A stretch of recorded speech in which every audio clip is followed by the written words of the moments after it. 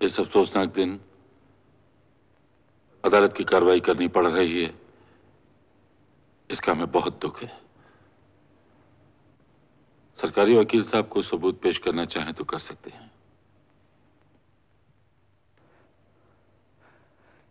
Your honour मुझे कुछ नहीं कहना सिवाय इसके कि मैं ये केस वापस लेना चाहता गुस्ताखी माफ़ योर ऑनर मैं दरख्वास्त करता हूँ कि मुझे कुछ कहने का मौका दिया जाए। लेकिन अब कहने से क्या फ़ायदा जब केस वापस ही लिया जा रहा है? यही जानते हुए योर ऑनर मैं कुछ कहने की इजाज़त मांग रहा हूँ।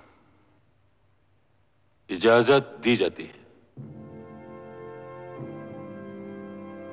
योर ऑनर इस अदालत के ऊपर एक और अदालत है जिसका फैसला मेरी रूह की गहराइयों तक पहुँच चुका है। वहाँ सबूत नहीं मांगे जाते और सजा दी जाती है।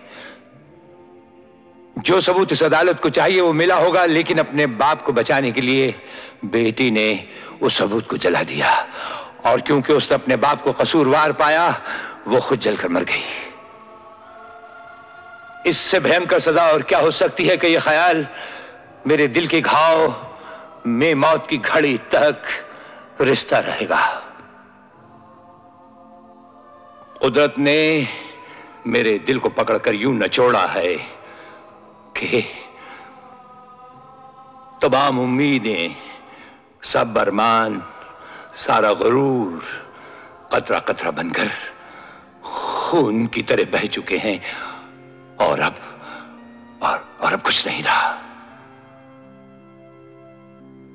मेरी सिर्फ़ एक ही ख्वाहिश थी कि दुनिया भर की खुशियों से अपनी बेटी का दामन भर दूँ।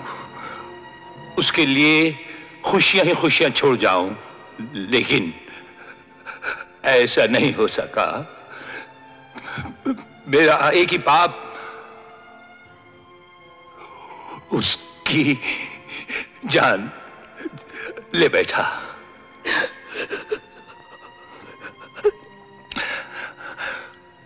उसकी ख्वाहिश थी कि मोहन की शादी चंद्रमुखी से हो जाए।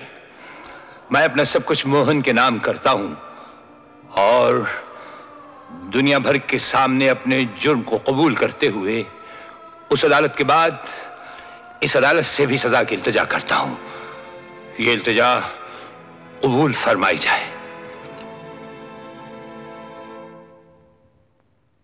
हर पहलू को मद्देनजर रखते हुए अदालत मुजरिम को उम्र कैद की सजा देती है।